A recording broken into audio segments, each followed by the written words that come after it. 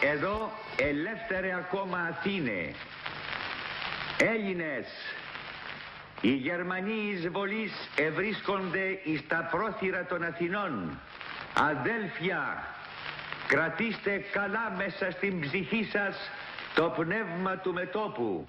Ο εισβολεύς εισέρχεται με όλας στα προφυλάξεις εις την έρημον πόλην με τα κατάκλειστα σπίτια. Έλληνες, ψηλά τις καρδιές. Προσοχή, ο ραδιοφωνικός σταθμός Αθηνών ύστερα από λίγο δεν θα είναι ελληνικός, θα είναι γερμανικός. Έλληνες, ο πόλεμός μας συνεχίζεται και θα συνεχιστεί μέχρι της τελικής νίκης.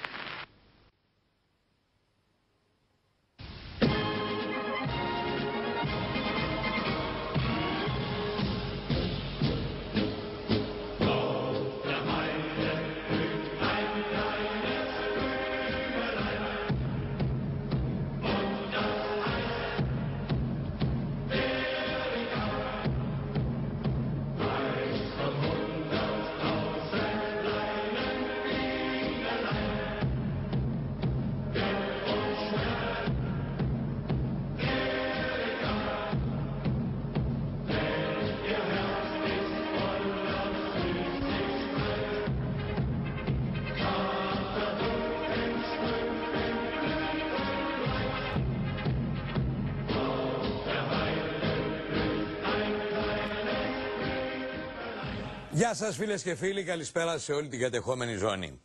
Καλησπέρα και στην Κύπρο μας, στη Μεγαλόνισο, στη Λευκοσία, στη Λάρνακα, στη Λεμεσό, σε όλες τις πόλεις του νησιού. Κυρίες και κύριοι, προηγουμένως έβλεπα ειδήσεις ε, στο μεγάλο κανάλι και ό,τι πρόλαβα είδα και νωρίτερα στον Α. Ομολογώ ότι δάκρυσα κάποια στιγμή. Σας λέω είχα μια συγκίνηση έντονη. Ένα ρίγος, όπως λέμε, διέτρεξε τη ραχοκοκαλιά μου όταν άκουσα τον κύριο Γιούγκερ στις τελευταίες του δηλώσεις την ώρα που παρέδιδε τη σκητάλη σε αυτό τον θα έλεγα αντιπαθητικό Ολλανδό, νεαρό αντιπαθητικό Ολλανδό ε, να λέει ότι η κρισιμότερη στιγμή που έζησε ήταν όταν όλοι έβλεπαν τη διάλυση της Ευρωζώνης λόγω Ελλάδος και τελικά κατάφερε να διασώσει την Ελλάδα μετά από λίγο και ξέρετε ενώ το ένα συνέστημα διαδεχόταν το άλλο και δεν σας κρύβω ότι εγώ λόγω και του διαβήτη έχω μια υπερλειτουργία ας πούμε ξέρετε του θυμοειδούς και εναλλασσόμενα συναισθήματα άκουσα τον κύριο Λάντ με την κυρία Μέρκελ στη συνάντησή τους να λένε ότι απέκτησαν, ότι απέδειξαν μάλλον ότι έχουν μια καταπληκτική χημεία διότι εσώθη Ελλάς. Δηλαδή Εκείνη την ώρα διαπίστωσα ότι και οι ηγέτες ανακαλύπτουν τη χημεία μεταξύ τους σε μεγάλα θέματα όπως η διάσωση της Ελλάδος, αλλά και άλλοι οι οποίοι φεύγουν στη σύνταξη, οικονομημένοι προφανώς, ανακαλύπτουν ότι η πιο κρίσιμη στιγμή τους ήταν η Ελλάς. Έλα όμως που δεν με αφήνει ο Τόμσεν. Δεν με άφησε η μνήμη του Τόμσεν, δηλαδή των πρόσφατων δηλώσεών του, προ 2-24 ώρων, να χαρώ όλο αυτό, να χαρώ όλο αυτό το πράγμα που έβλεπα στο Mega Channel. Την δισογραφία δηλαδή. Διότι βγήκε κυρίες και κύριοι ο Τόμσεν και ενώ συμπληρώνουμε το τρίτο έτος της κατοχής του μνημονίου βγαίνει και λέει, μα συγχωρείτε πάρα πολύ, λάθος πρόγραμμα εφαρμόσαμε. Έπεσα κάτω. Λέω τι λέει ο άνθρωπος; Ο άνθρωπος πήγαινε ορχόταν. Ο άνθρωπος είναι άριστος τεχνοκράτης. Το μνημόνιο, όπως έλεγε ο κύριος Πάγκαλος, είναι ευτυχία. Έπρεπε ακόμη και αν δεν υπήρχε να το έχουμε εφεύρει εμείς, να το έχουμε γεννήσει εμείς. Πόσοι πολιτικοί, πόσους έχετε ακούσει να λένε ότι το μνημόνιο και αυτό το πρόγραμμα θα ήταν η σωσίβιος λέμβος για όλους. Κυρίες και κύριοι κι όμως, πρώτα βγαίνει η κυρία Λαγκάρντ και απειλεί ότι εάν, εάν, εάν if, if, if, if not, όπως έλεγε ο κύριος Γιούγκερ που απήλθε, βγαίνει σε μια συγκεκριμένη στιγμή και απειλεί ουσιαστικά εμμέσως πλην σαφώς στην Αθήνα και όλους τους Έλληνες, ότι το IMF βλέπει ότι τα νούμερα δεν βγαίνουν Και δεν πρόκειται μετά από 5-6 μήνες να προχωρήσει πιο κάτω η κατάσταση αν δεν γίνει ένα γενναίο haircut και αν δεν ληφθούν και άλλα μέτρα. Στους μισθούς παραδείγματος χάρη. Δεν τα λέω εγώ, η κυρία Λαγκάρντ. Έρχεται λοιπόν ο υφιστάμενός της αμέσως μετά, και αυτά δεν γίνονται τυχαία, πήρε την αφεντικίνα, του είπε βγες και πέστα σε διεθνή θέα, τώρα δεν βγαίνει μόνος του, ξυπνάει το πρωί και λέει πάω να κάνω δηλώσεις που μπορεί να εκθέσουν το Διεθνές Νομισματικό Ταμείο από το οποίο παίρνω μισθό, χοντρό, ρωτάει πρώτα. Βγαίνει λοιπόν ο κύριος και λέει λάθος κάναμε. Λάθος 4.000 αυτοκτονίες. Λάθος 1,5 εκατομμύριο άνεργοι. Λάθος λουκέτα σε εκατοντάδες χιλιάδες επιχειρήσεις. Λάθος ανασφάλεια, αβεβαιότητα και ποινικοποίηση της κοινωνικής, οικονομικής και πολιτικής ζωής. Ουσιαστικά. Λάθος η δυσφήμιση μιας ιστορικής χώρας σε παγκόσμια κλίμακα. Λάθος το σπρώξιμο χιλιάδων οικογενειών σε οικονομικούς φούρνους και οικονομικά κρεματόρια. Τι λέτε κύριε Τόμψελ. Τι είναι; Πατήσαμε την κυρία στη Γόβα και λέμε παγδό μαντάμ. Ε, αυτό είναι. Τι είναι αυτό; Λάθος κάναμε, μας συγχωρείτε, να επανορθώσουμε, να στείλουμε ένα δώρο στην οικογένεια γιατί σας δώσαμε ένα προϊόν το οποίο δεν θέλατε; Λάθος, με τόσα φέρετρα κύριε Τόμψελ.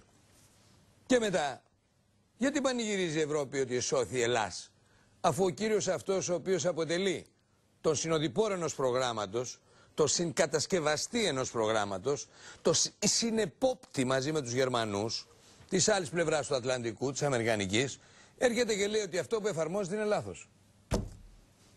Δεν υπολογίσαμε την αναπτυξιακή πλευρά του θέματος. Γεια σας λέει. Τελειώσαμε. Δεν βγαίνουν τα νούμερα. Σαπορτάρει τις δηλώσεις της κυρίας Λαγκάρντ. Εγώ λοιπόν σας ρωτάω εσάς που θα κληθείτε να πληρώσετε και φέτος. Χαράτσια, φόρους για τα σπίτια, τέλη κυκλοφορίας, βιωτικό επίπεδο σε φοβερή κατάσταση πλέον. Εσείς που έχετε υποστεί αναρροφήσεις από την τσέπη σας, πέστε μου, γιατί να πληρώσετε όταν βγαίνει αυτός ο άνθρωπος και λέει ότι η συνταγή που σας χορηγούμε είναι λάθος. Και με την ευκαιρία θέλω κύριε Καλοκαιρινέ να ακούσουμε ένα-δύο ηχητικά μιας άλλης εποχής, όχι πολύ μακρινής, δύο ετών πριν, ας πούμε, που έβγαιναν όλοι οι πολιτικοί μας και έλεγαν ότι το μνημόνιο είναι ευτυχία. Δεν υπάρχει ένας πολιτικός στην Ελλάδα, υπάρχουν βεβαίως πολιτικοί που δεν το έλεγαν, δεν υπάρχει όμως η πλειοψηφία τους έβγαινε και σας έλεγε ότι αυτό είναι το μοναδικό κινήνο που καταπραίνει, καταστέλει την ελονοσία της κρίσεως. Χωρίς ζάχαρη μάλιστα, χωρίς να μπει καθόλου ζάχαρη στο κουταλάκι με το κινήνο. Επομένως λοιπόν, γι' αυτό λέω, ε, ε, υφίσταμε κάποια σοκ και λόγω ηλικίας, παρακολουθώντας τις δηλώσεις των εποπτών, των γιατρών, των χειρουργών, που έχουν, σύμφωνα με όλους τους πολιτικούς, μάλλον είχαν, το παπικό αλάθητο. Και διερωτώ με, πώς μπορεί να εφαρμοστεί αυτή η πολιτική που ασκεί η τριμερής κυβέρνηση. Ή να έρθει μια άλλη κυβέρνηση από την αξιωματική αντιπολίτευση, η οποία κόβει βόλτες στις ΗΠΑ τώρα και ζει τη χαρά της ορκομοσίας του Ομπάμα και φωνάζει το δικό μας πρόγραμμα είναι πιο κοντά στον Παρακ Ομπάμα μήπως και ακούσει κανείς στην Ουάσιγκτον και πει α φιλοαμερικανάκια είναι αυτά να πάμε πιο κοντά τους. Από εκεί και πέρα λοιπόν θέλω να μου πούνε πώς μπορεί να εφαρμόζεται πρόγραμμα λάθος σύμφωνα όχι με εκτίμηση του Τράγκα ούτε κανένας καθηγητού ελληνικού πανεπιστημίου. Σύμφωνα με εκτίμηση εκείνων που το κατασκεύασαν μας το έδωσαν σε βίβλο, by the book, το εφήρμοσαν και όταν άκουγαν τις συμμογές στο κέντρο των Αθηνών και σε όλη την περιφέρεια της Ελλάδος, έλεγαν δεν μπορούμε να κάνουμε τίποτα άλλο. Τι να κάνουμε.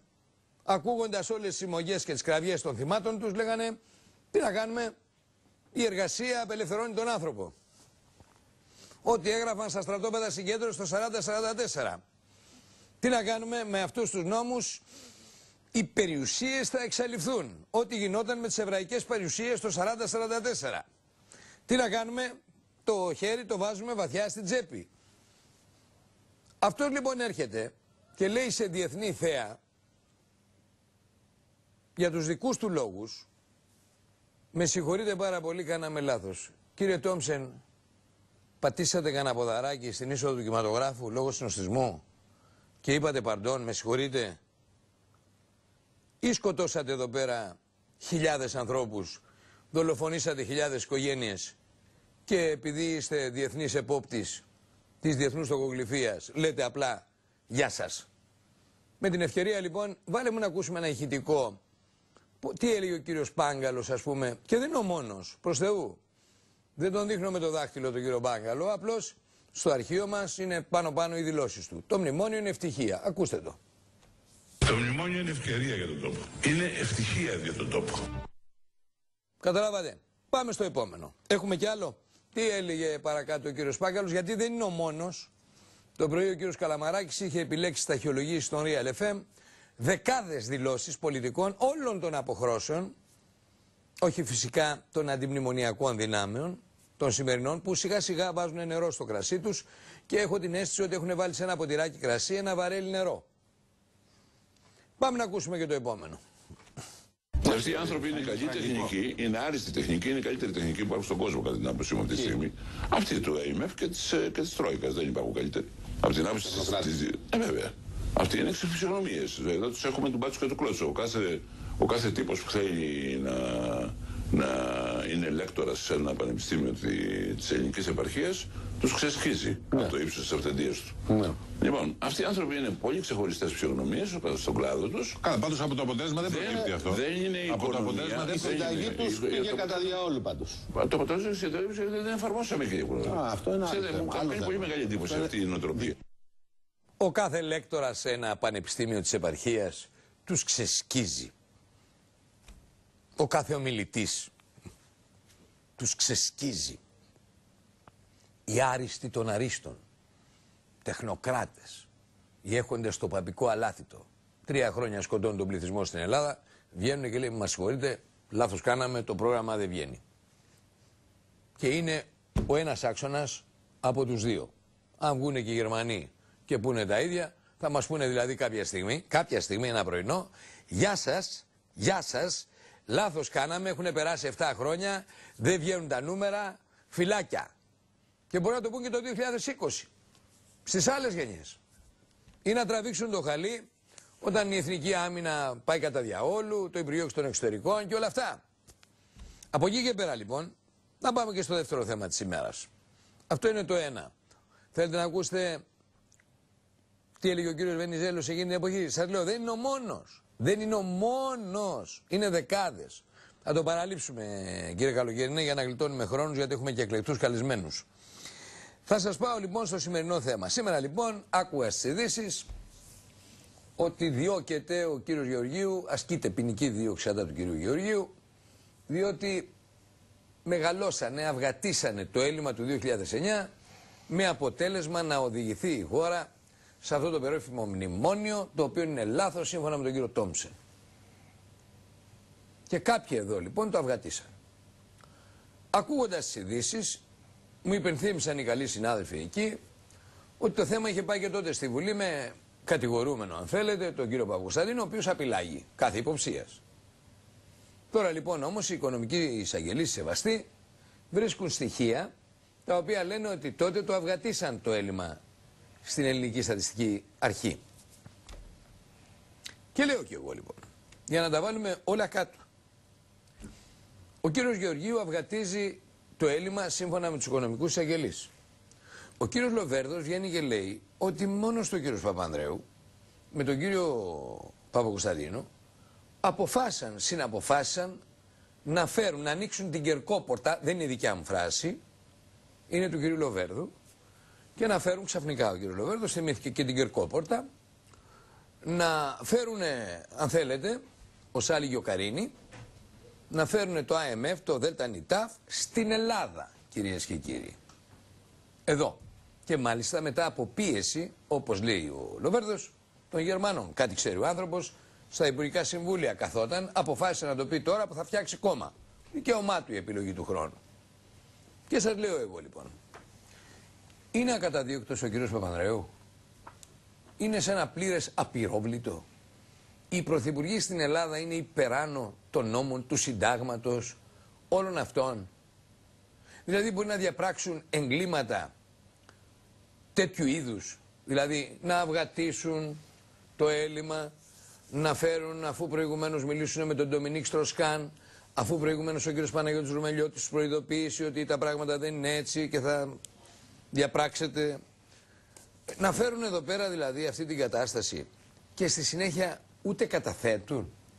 Γίνονται ε, visitor, πώς το λένε, επισκέπτες, καθηγητές ας πούμε στο Harvard και βγαίνει Μοντ και τους ξεφτελίζει λέγοντας ότι κατάτησαν από παρείες κομφερασιέ και ότι είναι πρωτοφανές γράφει η έγκυρη γαλλική Μοντ το γεγονός ένας πρωθυπουργός να τραβιέται λότο λαχείο στο Χάρβαρτ για να παρακολουθήσουν ένα πρωθυπουργό που έφερε την κρίση στην Ευρώπη και στην Ελλάδα. Σας λέω λοιπόν, δείτε αυτό το ρεπορτάζ, το έχει φτιάξει ο Σωτήρης ο Μποτσαρής, είναι για, τις, ε, για τη δίωξη, δικό μας είναι ή το έχουμε, το, το έχουμε κλέψει. Το, το, κλέψαμε. Είναι το, το κλέψαμε το δελτίο του Mega Channel, ήταν πολύ καλό φυσικά το ρεπορτάζ του Mega Channel. Πάμε να το δούμε ενδείξει σε βάρος τριών στελεχών της Ελληνικής Στατιστικής Αρχής για τεχνητή διόγκωση του ελλείμματος του 2009 από το 12% στο 15,4% του ΑΕΠ εντόπισαν οι οικονομικοί εισαγγελείς μετά την ολοκλήρωση της έρευνάς τους, όπως είχε καταγγείλει το μέλος της Ελστάτ, Ζωή Γεωργαντά, με σκοπό την ένταξη της χώρας στο πρώτο μνημόνιο και τη λήψη σκληρών μέτρων δημοσιονομικής προσαρμογής την κακουργηματική κατηγορία της ψευδούς βεβαίωσης και μάλιστα σε συνδυασμό με τις επιβαρυντικές περιστάσεις του νόμου περί καταχραστών, αντιμετωπίζουν τώρα ο πρόεδρος της Ελστάτ, ο προϊστάμενος της Διεύθυνσης Εθνικών Λογαριασμών και η προϊσταμένη της Γενικής Διεύθυνσης Στατιστικής, ενώ ο πρόεδρος αντιμετωπίζει επιπλέον και την κατηγορία της παράβασης καθήκοντος, καθώς φέρεται ότι συγκαλούσε διοικητικά συμβούλια όπου λαμβάνονταν αποφάσεις χωρίς τη συμμετοχή όλων των μελών όπως ορίζει ο νόμος. Για θεωρίες συνωμοσίας, αλλά και για επιλογές που δεν μπορούν να αντιμετωπίζονται με το κοινό ποινικό δίκαιο, έκανε λόγο το Πασόκ. Οι λόγοι που οδήγησαν την ελληνική οικονομία σε βαθιά κρίση δεν μπορεί να αντιμετωπίζονται ως ζητήματα ποινικού δικαίου. Οι θεωρίες της συνωμοσίας για το πώς οδηγήθηκε η χώρα στην κρίση και οι θεωρίες του απομηχανής Θεού που θα την βγάλει μαγικά και χωρίς κόπο από αυτήν εκθέτουν τη χώρα και τους πολίτες σε μεγάλο κίνδυνο. Σύμφωνα με τη ζωή Γεωργαντά, τόσο η ίδια όσο και άλλα μέλη του Διοικητικού Συμβουλίου διαφωνούσαν με τον πρόεδρο της αρχής ως προς τον τρόπο υπολογισμού του ελλείμματος. Από την πλευρά του, ο πρόεδρος αντιτείνει ότι όλα τα στοιχεία για το έλλειμμα είχαν ελεγχθεί από τη Eurostat και είχαν γίνει αποδεκτά. Μετά τις δηλώσεις Λοβέρτου και Κατσέλη, έρχεται τώρα η δικαιοσύνη να προσθέσει νέα στοιχεία για τις μεθοδεύσεις και μέσω της πλαστογραφίας των στοιχείων της Ελστάτ που οδήγησαν τη χώρα μας στις δαγκάνες των δανειστών. Ο οικονομικός εισαγγελέας δεν αποκλεί την ύπαρξη ηθικών αυτούργων στη βασική κατηγορία, ότι δηλαδή αυξήθηκε τεχνητά το έλλειμμα και μάλιστα ζητεί από τον ανακριτή να το ερευνήσει. Έχει μάλιστα διαβιβάσει μαζί με την δικογραφία και ένα 80 σέλιδο πόρισμα με στοιχεία που προέκυψαν από την έρευνά του, αλλά και από την Εξεταστική Επιτροπή της Βουλής, η οποία ωστόσο δεν απέδωσε ευθύνες σε κανένα πολιτικό πρόσωπο. Ο οικονομικός εισαγγελέας, φίλες και φίλοι, πολύ σωστά ο άνθρωπος λέει Ψάξτε για έναν ηθικό αυτούργο για κάποιον που τσίγκλισε σε κάποιο τηλέφωνο, αυτό λέει, να, ο κύριος Γεωργίου να διευρύνει αν θέλετε το έλλειμμα. Φίλες και φίλοι κακά τα ψέματα, δεν πήγαμε έτσι στο μνημόνιο, δεν φέραμε έτσι το IMF, κάποιοι ήθελαν να προσδέσουν αυτή τη χώρα για τα επόμενα 40 χρόνια σε ένα συγκεκριμένο άρμα. τώρα, το πόσα θα μάθουμε ακόμη που θα συναρμολογούν όλο αν θέλετε τον κύκλο των γεγονότων που μας οδήγησαν σε αυτή την κατάσταση για την οποία βγαίνει τώρα ο Τόμσεν και λέει ότι είναι λάθος συνταγή θα τα μάθουμε, μην έχετε καμία αμφιβολία. Κυρίες και κύριοι, πριν πάω σε δύο εκλεκτούς, σε τρεις εκλεκτούς καθηγητές, έχω εδώ τον κύριο Νίκο Καραβίτη, αναπληρωτή καθηγητή της Δημόσιας Οικονομικής στο Πάντιο Πανεπιστήμιο και τον καλωσορίζω εδώ. Καλή χρονιά να τα λέμε και να είμαστε καλά, πάνω απ' όλα. Έχω τον κύριο Γιώργο Βάμβοκα, καθηγητή στο Οικονομικό Πανεπιστήμιο της Αθήνας, ο οποίος έχει έρθει εδώ πέρα βέβαια οπλισμένος πλέον. Δηλαδή, εγώ πλέον τα βλέπω αυτά, δεν μπορώ να μην σας το πάρω κύριε καθηγητά, τα βλέπω αυτά. Παρακαλώ πάρα πολύ να το δούμε. Τα βλέπω. Φανταστείτε πόσες σημειώσεις κάνει γύρω από τις δαπάνες του κράτους, τα χρέη του κράτους, τα συνολικά χρέη του κράτους, το εξωτερικό χρέος. Ο άνθρωπος ασχολείται επισταμένα θα έλεγα. Και επίσης θα συνδεθούμε με τον κύριο Δημήτρη Μάρδα, καθηγητή στο Τμήμα Οικονομικών Επιστημών του Αριστοτελείου Πανεπιστημίου Θεσσαλονίκης. Είμαστε ήδη σε σύνδεση. Σε λίγο θα είμαστε, εντάξει. Λοιπόν, θα ξεκινήσω, αφού όμως προηγουμένως σας πω ότι μου άρεσαν οι δηλώσεις του κυρίου Τσίπρα στις Ηνωμένες Πολιτείες. Δηλαδή, μου άρεσαν πάρα πολύ. Ήταν, θα έλεγα, πολύ διπλωματικές, πολύ σωστές και επιτέλους, το έχω ακούσει σε συνέντευξη που του έχω πάρει, επιτέλους τον άκουσα σε δημόσια θέα να λέει ότι ο ΣΥΡΙΖΑ είναι πάρα πολύ κοντά, μα πάρα πολύ κοντά στην Αμερικανική πολιτική. Τον είχα ακούσει σε μια ηχογραφημένη συνέντευξη, πολύ ωραία που έκανα στο γραφείο του εκεί στην πλατεία Κουμουνδούρου παραμονές εκλογών, αλλά τώρα νομίζω ότι το απόλαυσα διότι πρώτος το έγραψα τότε. Παρακαλώ πάρα πολύ τις δηλώσεις του αρχηγού της αξιωματικής αντιπολίτευσης.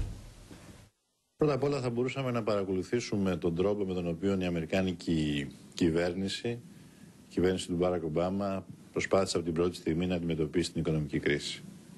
Και προσπάθησε να αντιμετωπίσει με μια επεκτατική δημοσιονομική πολιτική και όχι με την καταστροφική πολιτική της λιτότητας. Ταυτόχρονα πρέπει να συνειδητοποιήσουμε ότι και η χθεσινή ομιλία του Αμερικανού Προέδρου, κατά τη διάρκεια της ορκομοσίας του, ήταν μια ομιλία που είχε στο βασικό της ε, περιεχόμενο τη στήριξη της μεσαίας και κατώτερης τάξης, τον όρο κοινωνική δικαιοσύνη, έναν συνολικά προοδευτικό προσανατολισμό, την ίδια στιγμή που στην άλλη πλευρά του Ατλαντικού κυριαρχούν συντηρητικές ε, ε, τοποθετήσεις που αντί να ε, αντιμετωπίσουν την κρίση, την μεγενθύνουν ακόμα περισσότερο. Αυτό που πρέπει όλοι να συνειδητοποιήσουμε ε, είναι ότι το φάρμακο για την κρίση τελικά είναι χειρότερο από την ίδια την ασθένεια και ότι η Ελλάδα έχει βρεθεί στο μάτι του κυκλώνα, έχει γίνει ένα πειραματόζω νεοφιλελεύθερων πολιτικών. Νομίζω ότι είναι ε, σημαντικό να έχουμε τη δυνατότητα να λέμε τη γνώμη μας και τις προτάσεις μας χωρίς διαμεσολαβητές. Και αυτή τη δυνατότητα μας, αυτή τη δυνατότητα μας δίνεται από την τετραήμερη αυτή η επίσκεψη. Θα, έχουμε, ε, θα έχω τη δυνατότητα να μιλήσω σε ένα κοινό που ε, παίζει σημαντικό ρόλο στο Brookings Institute αλλά και στο Πανεπιστήμιο Κολούμπια. Με ικανοποίησε απόλυτα, το, τα εγκόμια του με ικανοποίησαν απέναντι στην ομιλία του Μπαρακ Ομπάμα, ο οποίος είναι κατά δικός μου και επίσης, η, αν θέλετε, η διαστολή που έκανε μεταξύ των θέσεων των Αμερικανικών και των συντηρητικών της από εδώ πλευράς του Ατλαντικού. Και επειδή ήρθαν μετά τον Ντόμσεν οι δηλώσεις του για το θανατηφόρο φάρμακο, με βρίσκουν απόλυτα ευθυγραμμισμένο. Έτσι και να είμαστε καλά, πολύ δυνατά, πάμε παρακάτω. Ε, να πάω πρώτα στον κύριο Καραβίτη ε, και να τον ρωτήσω, το πρώτο σχόλιο θα πάρω για τον κύριο Τόμσεν φυσικά, ο οποίος μας είπε λάθος συνταγή, τι να κάνουμε, λυπούμεθα πάρα πολύ, είπε ο κύριος Τόμσεν. Δεν νομίζω να πει. Κάπως έτσι το παιδί. Άλλο το κάπω το βγάλω, το έχω εδώ. Και άλλο αυτό. Το έχω, το έχω, το έχω. Ξέρετε, αν το πω θα είναι λίγο χειρότερο γίνανε, από ό,τι γίνανε, γίνανε πολλά λάθη. Γίνανε, ε; Ασφαλώ γίνανε. Γίνανε, ρε παιδί μου, τον είχαν τον ασθενή από κάτω, τον βαράγαν από πάνω όλοι. Πάνε, πάρε και μία από εδώ και μία από εκεί. Ε, και μπορεί κάποιος να αρχίσει να τα βλέπει, να τα απαριθμεί, δηλαδή το ότι καθυστερήσαμε να ξεκινήσουμε το πρόγραμμα δημοσιονομικής εξυγίανσης, το ότι καθυστερήσαμε. Όχι, είπε λάθος τα νούμερα, γι' αυτό θέλω να σας το διαβάσω. Λέει λάθος τα, νούμερα... τα νούμερα. Δεν υπολογίσαμε τίποτα, το βάλαμε, λέει το πρόγραμμα, μα το είπε και τι να, λέει, δεν βγαίνουν τα νούμερα. Τα νούμερα θα βγούνε. Η λιτότητα είπε. Δηλαδή όλα αυτά που κάναμε στην Ελλάδα, η αφέμαξη, ναι. αυτή είναι λάθος, λέει διέλυσε την περίπτωση της ανάπτυξης. Δεν είπε Λέει κάτι. ότι οι συνθήκες ήταν διαφορετικές εδώ. Υιοθετήθηκε ένας πολύ υψηλότερος πολλαπλασιαστής. Δεν θέλω να σας το βάλω, δηλαδή Ακριβώς. είναι φοβερό πράγμα. Καθώ. Δηλαδή εκεί που έκανε, πώς το λέτε εσείς, οικονομολόγοι, ε, ένα συν ένα, δύο και τέσσερα, υιοθετήθηκε ένας πολλαπλασιαστής που το τίναξε στο μαγάζι όλο στον για, αέρα. Γι' αυτό που λέτε, ναι. βγάλανε και τη σκάφη Σημείο τριβής ήταν. Ναι, Ιανουαρίου. Το IMF ήταν, ήταν και ένα σημείο τριβής με την uh, Κομισιόν. Uh, υπήρχε ένα θέμα εκεί. Ε, αλλά το πρόβλημα με, όλη αυτή τη, με όλες τις πολιτικές τώρα στη διάρκεια αυτών των ετών του, του μνημονίου τα προβλήματα τα πραγματικά είναι άλλα. Είναι ότι αργήσαμε, είναι ότι το μνημόνιο δεν είχε ιδιοκτήτη, δηλαδή λέγαμε, το λέγατε κι εσείς πριν, να είμαστε σε κατοχή, κάποιος άλλος μας το επιβάλλει κτλ. Δεν το πιστέψαμε να το κάνουμε δικό μας και να το κάνουμε ακριβώς όπως θα έπρεπε για να φέρουμε τα πράγματα Μα, εκεί που πρέπει. Η που βλέπω στα ΦΕΚ είναι Βερολίνο, τάδε. Είναι όσα υπογράφονται στη Γερμανική Πρεσβεία. Καταλάβατε. Δεν είναι Αθήνα. Καλά, ναι, καλά, Βερολίνο γι' αυτό. Ε, αλλά το ότι κάναμε λάθη, παραλήψεις, ε, σε αυτό δεν νομίζω ότι ε, μπορεί κανείς να διαφωνήσει. Το θέμα είναι, ε, και εκεί ζητάω επίμονα απάντηση από όλους τους συνομιλητές μου κάθε φορά, να μου πούνε ωραία, δεν κάναμε αυτό.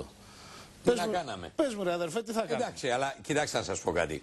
Επειδή πρέπει να βρεις εναλλακτική θεραπεία, δεν σημαίνει ότι εφαρμόζεις μια θεραπεία η οποία είναι θανάσιμη. Δηλαδή, ναι. με συγχωρείτε, έχεις ένα διαβητικό σε κόμμα. Δεν του βάζεις, ας πούμε, αν θέλετε, νερό με ζάχαρη στο αίμα. Εκεί όχι, όχι. Φυσικά καταλάβατε.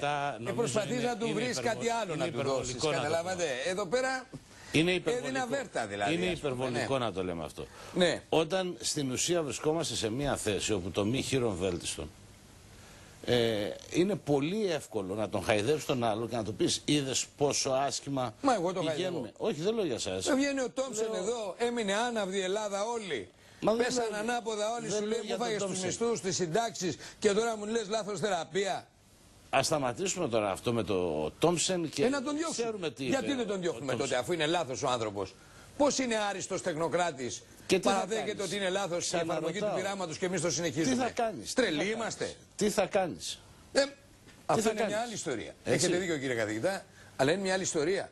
Το θέμα είναι ότι δεν μπορεί να συνεχίζεις. Θα συνεχίσεις να ζεις με δανεικά. Δανεικά στα δανεικά. Πού θα τα βρεις; Πού θα τα βρεις; Με συγχωρείτε, δανεικά στα δανεικά δεν είναι. Βεβαίως. Ε; Αυτή τη στιγμή. Ε, για πετε μου κάτι, δανεικά στα δανεικά αυτή τελειώνει το χρέος. Αυτή τη στιγμή δηλαδή, σε δανείζουν οι 100 και σας δίνω συνέχεια 100 είναι ένα τόκο. Θα ξοβλήσετε; Μα αυτό λέμε, ότι αυτή τη στιγμή ναι. έτσι, ζούμε με τα δανεικά των εταίρων μας πλέον. Δεν μας δανείζει το Διεθνές Τραπεζικό Σύστημα. Με τόκο. Με τόκο και μάλιστα χαριστικό τόκο. Ναι. Στην ουσία. Έτσι. Χαριστικό. Δηλαδή σου βάζει και ένα τοκάκι. Τώρα τελευταία. Πάτε μια τελεία και σας έχω για δύναμη. Δηλαδή για να βγάλουμε και όλα τα αυτά. Μισό λεπτό. Να, να συνδεθώ με το. Πιο μετά με τον κύριο Μάρδα, τον καθηγητή ε, Οικονομικών Επιστημών στο Αριστοτέλειο. Ε, κύριε Μάρδα, καλησπέρα σας, καλή χρονιά να σας έχουμε και να είστε πάντα καλά. Ε, ένα, σχόλιο σας, ε, ένα σχόλιο σας για την ομολογία του κυρίου Τόμσεν ότι είναι μια λάθος συνταγή αυτό που εφαρμόστηκε στην Ελλάδα. Λυπούμε, θα είπε, κάναμε λάθος. Ήτανε λάθος το πρόγραμμα, δεν είχαμε προβλέψει τι θα συμβεί όσον αφορά και την ανάπτυξη και όλα. Την ύφεση εκεί έδωσε έμφαση, έτσι μπέρδεψε κάποιου τεχνικούς όρους αναφερόμενο στου πολλαπλασιαστές. Ε, Μήπως έτσι και καταλάβαινε ο κόσμος τι, τι σημαίνουν πολλαπλασιαστές στην οικονομία. Ε, μου θύμισε κάτι οι καθηγητές παλιά που χρησιμοποιούσαν στο γυμνάσιο κάποιες παράξενες εκφράσεις για να μπερδέψουν τους μαθητές. Δεν μπορούσαν να απαντήσουν σε ερωτήσεις των μαθητών. Αυτό μου θύμισε ο τόπο χθες. Ε, κοιτάξτε, λάθη έγιναν από εκεί γιατί, γιατί δεν έκαναν κάποιους υπολογισμούς. Έχουν γίνει όμως και τρομακτικά λάθη από εμάς. Δηλαδή δεν κάναμε Ναι, ακόμα... κύριε καθηγητά, με συγχωρείτε όμως. Ναι. Εμείς, ε, αν δεν κάνω λάθος, επειδή έχω ακούσει καμιά εκατοστή δηλώσεις πολιτικών και διακεκριμένων καθηγητών, εμείς πήραμε τους άριστους των αρίστων. Όταν λέμε IMF και όταν ήρθε εδώ, είπαμε ήρθε η, η, Τρόικα ε, που έχει το παπικό αλάθητο. Αυτοί ξέρουνε. Αυτοί είναι οι άνθρωποι και επομένως ό,τι μας πούνε κόψε χέρι, κόβεις χέρι. Κόψε πόδι, κόβεις πόδι. Έρχεται λοιπόν αυτός και λέει: Μπορεί να είχαμε 4.000 αυτοκτονίες, 1,5 εκατομμύριο ανέργους κτλ. Αλλά ο πολλαπλασιαστής ήταν λάθος. Κύριε καθηγητά, ε, εγώ δεν ξέρω, δεν μπορώ να το, να το κατανοήσω. Πιθανόν είμαι βλάξ, αλλά ο πολλαπλασιαστής και δίπλα ίσον εκατοντάδες χιλιάδες οικονομικά νεκροί και νεκροί πραγματικά φέρετρα είναι λίγο, ξέρετε, είναι λίγο να μην ξαναπεράσει ο Τόμψεν το, το σύνορο, καταλάβατε; Ε, κοιτάξτε, ε, κατ' επανάληψη έχουν γίνει λάθη από τη μεριά του Διεθνούς Νομισματικού Ταμείου ιδιαίτερα. Λόγω Εμείς τι φταίμε όμως, για πείτε μου. ναι, ξέρετε ποιο είναι το πρόβλημα. Το πρόβλημα το δικό μας ποιο είναι; Είναι ότι εμείς ήμασταν εξαρτημένοι από αυτούς. Ω εκ τούτου είχαμε να ακολουθήσουμε δύο επιλογές. Εξαρτημένοι επειδή τους έφερε κάποιος πρωθυπουργός. Ε, εν πάση περιπτώσει κάποιος θα τους έφερνε, εφόσον ε, έπρεπε να Σας καταλαβαίνω, είστε πολύ διακριτικός, αλλά το εν πάση περιπτώσει, στην περίπτωση που σκοτωθούν ας πούμε 500.000 άνθρωποι, είναι λίγο, ξέρετε. Υπήρχε και άλλη επιλογή. Υπήρχε άλλη επιλογή μία πρώτου του 2010. Μάλιστα. Να, βγει ο- να βγει ο Πρωθυπουργός και να έλεγε Σας ανακοινώνω ότι σκεπτόμαστε να κηρύξουμε πτώχευση. Ξέρετε τι θα γινόταν τότε. Ε, με συγχωρείτε Σε μία πάρα πολύ. χρονιά- σε μία Δηλαδή, χρονιά με θα συγχωρείτε ήταν πάρα μηχανισμό- πολύ. Πριν μηχανισμός από τι τις. εκλογές του 4 δεν ήξερε την κατάσταση. Δεν τον είχε ενημερώσει ο κύριος Ντομινίκ Στρος-Καν, ο κύριος Στάινμπρουκ. Ο, όλοι αυτοί οι περίφημοι που μίλαγε κρυφά στα τηλέφωνα δεν τον είχαν ενημερώσει. Δεν μπορούσε να προσθέσει αλήθεια στον προεκλογικό του λόγο. Έπρεπε να αρπάξει την ψήφο των Ελλήνων και μετά ως άλλος σωτήρας, πυροσβέστης και ναυαγοσώστης να οδηγήσει τη χώρα χωρίς να πάρει γνώμη ούτε ενός Έλληνα πολίτη να την οδηγήσει εκεί που ήθελε. Προσέδεσε μια χώρα για 30 γενιές μπροστά. Εδώ Μην, έχετε ε, δίκιο, εδώ μην έχετε λέγοντας δίκιο. τίποτα. Εδώ Είναι έχετε τίμιο, πολιτικά, ανθρώπινα. Είναι δίκαιο αν θέλετε για το μέλλον ενός τόπου. Ε, μπο- μπο- Πρώτα υποθηκεύεται και μετά οδηγείται εκεί. Ε, εδώ έχετε δίκαιο α, αν θέσετε ως σημείο κίνηση το 2004. Ναι, εντάξει, Όχι, κοιτάξτε να όχι, σας πω όχι, κάτι. όχι, ό- όχι το Ε, 2009. εάν ήταν ο κύριος Παπανδρέου ειλικρινής Ήδη το- και έλεγε, έλεγε όταν έκανε το debate με τον Καραμαλή ότι τι είναι αυτά που μας λες άνθρωπε, η χώρα οδηγείται σε πτώχευση και πρέπει να πάρω μέτρα, ουδής θα μπορούσε να του πει γιατί οδήγησε τελικά τη χώρα σε αυτή τη λύση. Αλλά θα είχε ψηφιστεί με γνώση των κατοίκων της περιοχής. Δεν θα είχαν οδηγηθεί σε οικονομικά κρεματόρια επειδή τους έλεγε ότι δεν θα παγώσει τους μισθούς και τις συντάξεις. Θυμάστε ότι αν παγώσουμε τους μισθούς και τις συντάξεις θα έχουμε ένα φαύλο κύκλο κατάρρευσης έλεγε. Θυμάστε τι έλεγε. και στον το κύριο θυμάμαι. Κούλογλου, Και- και- και- και- έναν και- από τους καλύτερους Έλληνες δημοσιογράφους, τον κύριο Κούλογλου, Θα υπάρχουν, θυμόμαστε. Ε, δε- Ε. Δεν δικαιολογώ, δεν δικαιολογώ τον κύριο Παπανδρέου αυτή τη στιγμή. Μα δεν είπα ότι τον Αλλά δικαιολογείτε, φυσικά απλά δεν το πρόκειται- κουβεντιάζουμε, δεν ναι. πρόκειται να- Δεν πρόκειται να δικαιολογήσω και την πολιτική μετά το 2004 που διπλασίασε τις καταναλωτικές δαπάνες του προπολογισμού μέσα σε τέσσερα χρόνια. Ενώ έβλεπαν ότι η χώρα καταραίει. Δηλαδή δεν είναι δυνατόν Κύριε οι καθηγητά, δαπάνες Κύριε να- καθηγητά, πέντε δις, εγώ δεν έχω δει κανέναν από τους προ- ε, πρώην πρωθυπουργούς να καταθέτει ούτε ως ουσιώδης μάρτης. Δηλαδή δεν είδα τον κύριο Σιμίτη με το περίφημο χρηματιστήριο και την Ολυμπιάδα. Δεν είδα τον κύριο Καραμαλή με την εκτείναξη του χρέους. Δεν είδα τον κύριο Παπανδρέου να απολογείται για όσα έκανε μόνος του αυθαίρετα και χωρίς να έχει ούτε την ψήφο ενός Έλληνα γνώστη της υπόθεσης. Ουδής γνώριζε. Και δεν είδα επίσης κανένα διοικητικό άνδρα από αυτούς που γνώριζαν την ανεπάρκεια δανεισμού να οδηγείται κάπου, όχι σιδηροδέσμιος προς Θεού, να καταθέσει πραγματικά περιστατικά. Διότι εγώ σε ανύποπτο χρόνο, και το έχω πει στο ραδιόφωνο, ο κύριος Προβόπουλος έχει πει σε μένα μες στο γραφείο του, σε ανύποπτο χρόνο.